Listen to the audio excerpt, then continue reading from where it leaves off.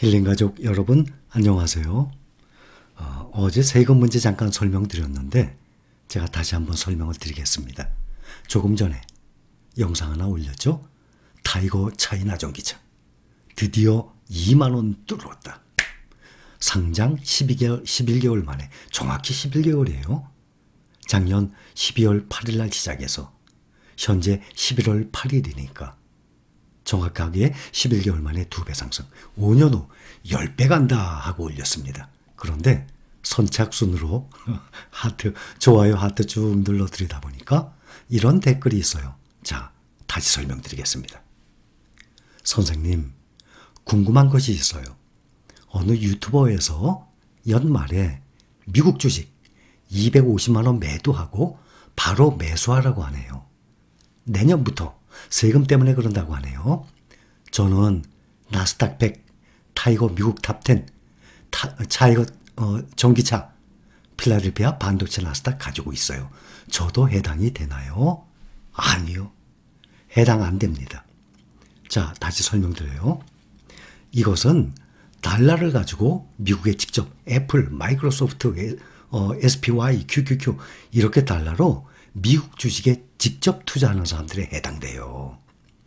국내에 원화로 투자, 투자하지만 함께 미국에 투자하는 거하고 똑같은 효과거든요. 그런데 원화로 투자하는 타이거, 뭐 나스닥 100이라든지 이러한 종목들은 매도를 하게 되면 15.4%를 빼고 들어와요. 아예 원천 징수라고 그러죠. 아예 처음부터 빼고 들어오니까 이거는 매도하면 손해됩니다.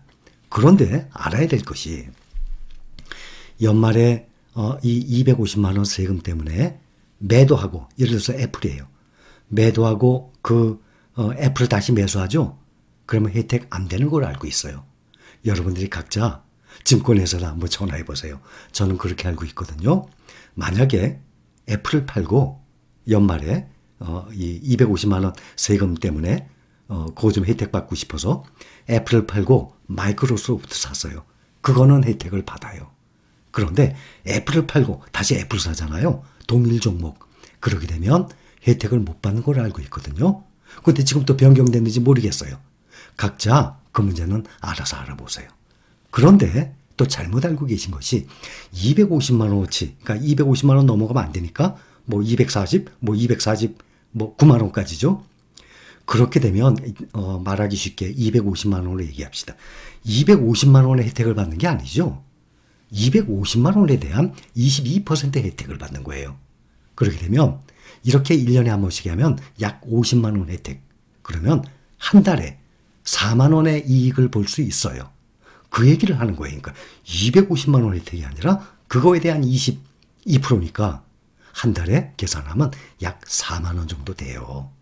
그런데 우리가 나중에 매도할 때, 쓸 때, 그때는 다들 억대로 갖고 있는 거 아닙니까? 그리고 그 중에서 1%씩 매도하는 건데, 3억이라면 1년에 3천만 원이에요. 10%가. 그런데 1년에 3억 갖고 있는데 10%만 오릅니까? 지금 보면 다들 이 종목들이 좋아서 몇십 퍼센트씩 올라요. 5억에 10%. 그러면 5천만 원이죠. 연간 몇천만 원씩 좀 올라간단 말이에요. 나중에는 몇 억이 쌓이게 되면 지금 현재도 몇 억 갖고 계신 분들 계시죠? 그러면 1년에 계산해 보세요. 10%면 얼마입니까? 5, 5억에 5천만 원 아닙니까? 10%. 그런데 20%면 5억에 1억이 붙어요. 근데 그거 가지고 한 달에 4만 원씩 절약하기 위해서 연말마다 하신다면 하실 분들은 하세요. 저는 안 합니다. 그런데 말씀을 드렸다시피 연말에 그거 혜택 받으려고 그 종목을 매도했다가 그 종목 다시 매수하면 혜택을 안 주는 걸 알고 있는데 정확히는 모르겠어요. 저는 현재까지 그렇게 알고 있으니까 여러분들이 어, 거래하는 증권회사에 한번 알아보세요. 그렇게 해서 된다 그러면 뭐 실행해도 되겠죠. 그런데 그게 250만 원 이익이 아니라 그거에 대한 22% 이익이니까 이해를 하시겠죠. 자 여기 보면 어떻게 이거를 절세를 하나 하면 이렇게 하는 방법을 얘기하는 거예요. 마이크로소프트가 1년 동안 보니까 만약에 만약에요. 마이너스 100만 원이에요. 근데 애플이 마이너 어, 플러스 500만 원이에요. 그럼 마이너스란 걸 놔두고 애플만 매도하면 안 되죠. 왜냐하면 500만 원 수익 났잖아요, 애플이.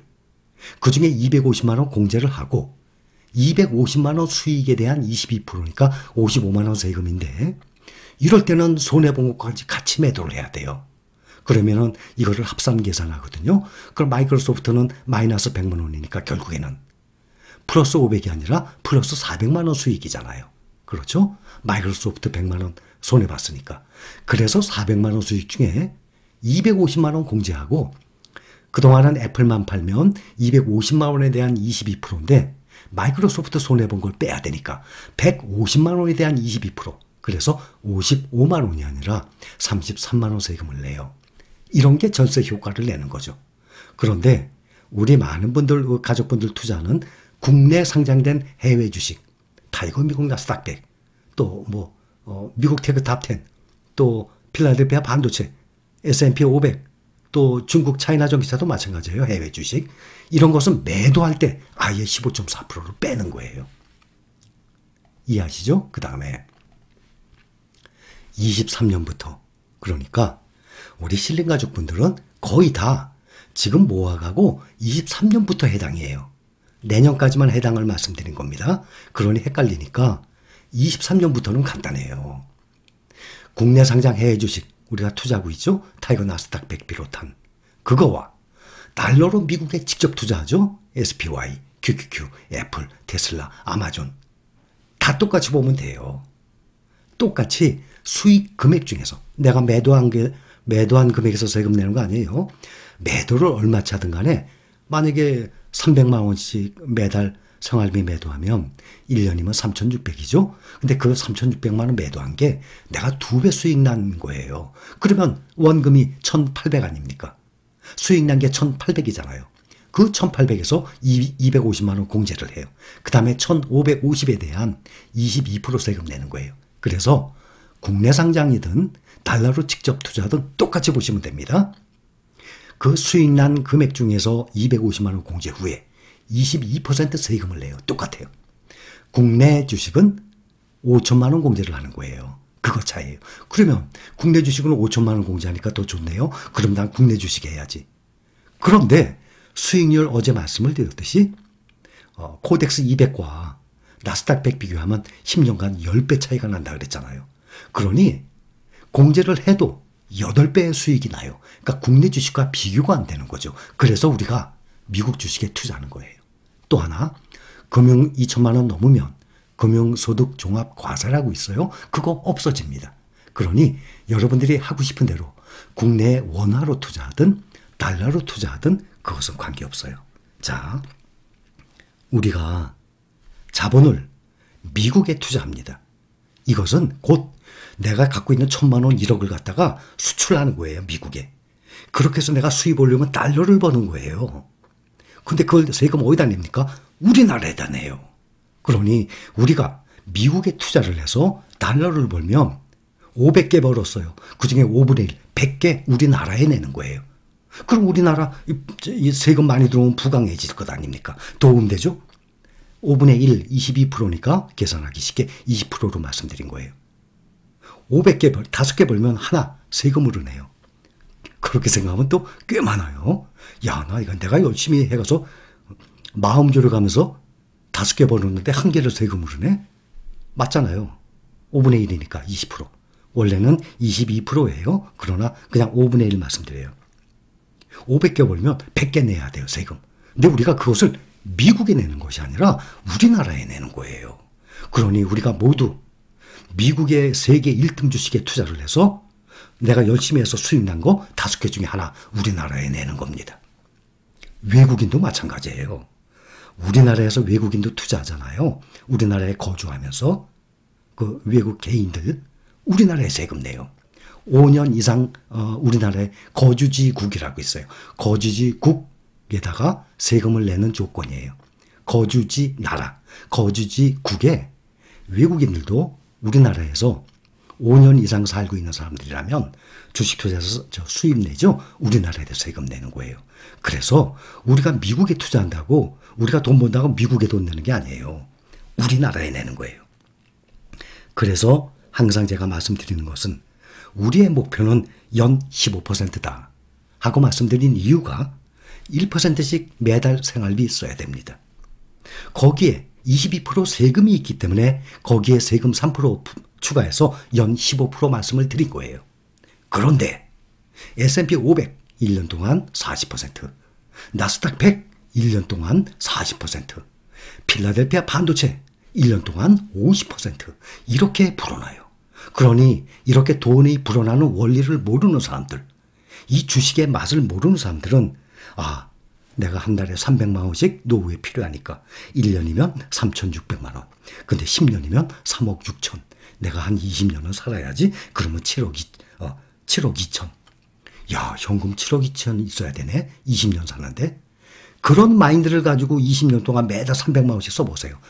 7억 2천 다 날라가 버리지. 원금 다 소실되죠. 그러나 우리 실린 가족분들처럼 돈을 불리는 원리를 아시는 분들, 잠자는 동안에도 돈이 돈을 벌어오는 그 구조 시스템을 만들어둔 우리 실린 가족분들은 20년 동안 7억 2천만 원 쓴다고? 나는 이 1등 주식을 사두고 7억 2천만 원의 1% 720만 원이네요. 매달 720만 원씩 나는 생활비로서 충분하죠? 720만 원.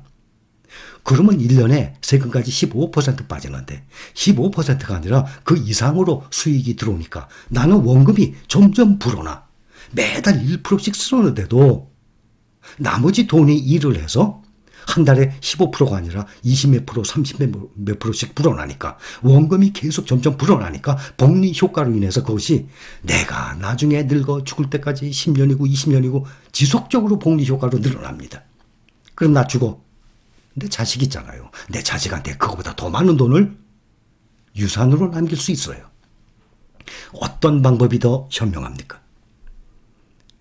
이렇게 1등 주식에 투자를 해서 우리가 투자하는 1등 주식 1년 전, 3년 전, 5년 전 가격을 보십시오. 떨어진 거 있어요? 단 하나도 없어요. 떨어져요? 몇 배로 늘어나요.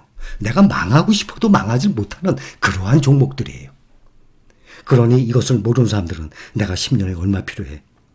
3억 6천? 20년 살아야 돼. 그러면 7억 어, 2천? 그거 그냥 계속 다 쓰고 사는 거예요. 나중에는 다 없어지지. 근데 내가 20년이 아니라 30년 살게 돼. 나머지 다 20년 다음에 나머지 10년이면 완전히 내가 늙은 상태에서 돈이 하나도 없어. 어디다 그걸 해야 됩니까? 그거에 비해서 우리 신랑 가족분들은 나라에 내가 번 돈의 5분의 1 뚝뚝 떼어주는 거예요, 세금으로. 그러면서도 나의 원금은 그대로 보존이 돼요. 나는 매달 1%씩 생활비로 뽑아줄 수 있어요. 그러니 이런 마인드로 가격이 얼마 관계없어요. 차이나 전기차 2만원 넘었어요? 뭐, 손이 안 가요? 손이 가요, 손이 가. 1년, 2년, 3년 후를 보세요. 손이 가요, 손이 가. 힐링가족 여러분, 사랑합니다.